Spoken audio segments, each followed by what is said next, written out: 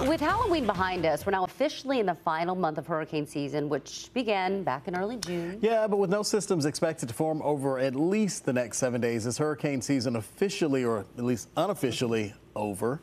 Storm Team meteorologist Matthew Huddleston has a look at uh, why it's so difficult to get November storms. So far this season, the Atlantic Basin has seen 13 named storms, with five becoming hurricanes and four gaining major hurricane status.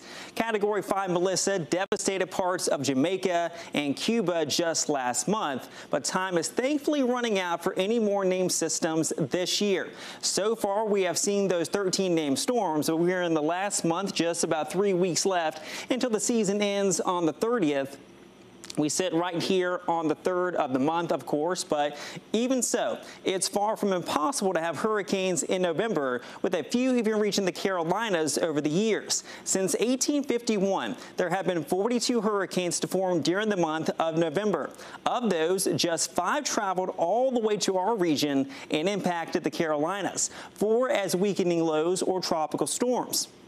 But North Carolina has had one November hurricane landfall, which took place way back in 1861. That was number eight here before they actually had names, with sustained winds of 80 miles per hour. Now, here's an overall breakdown of when tropical formation typically takes place.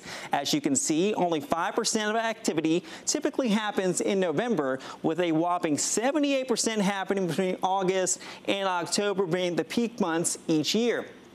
There are several reasons for this. First of all, the water temperatures in the Atlantic basin are getting a lot cooler.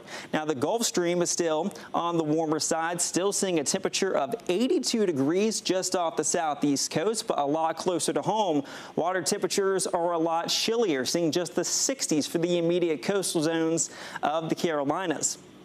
Something else that really impacts the tropical formation is the fact that we're now getting several cold fronts a week, several dips in the jet stream as well. This kind of acts as a blocking mechanism for any storms that try to make their way towards us. They get bumped back out to sea instead. The last thing is upper level winds. They are very strong for this time of the year with the jet stream that kind of tears apart any tropical systems. It doesn't allow them to really get going or get close to the United States. So the good news is the National Hurricane Center doesn't have any formation chances over at least the next seven days, but it is still a lot left in the season. As we know, it's not over until it's over.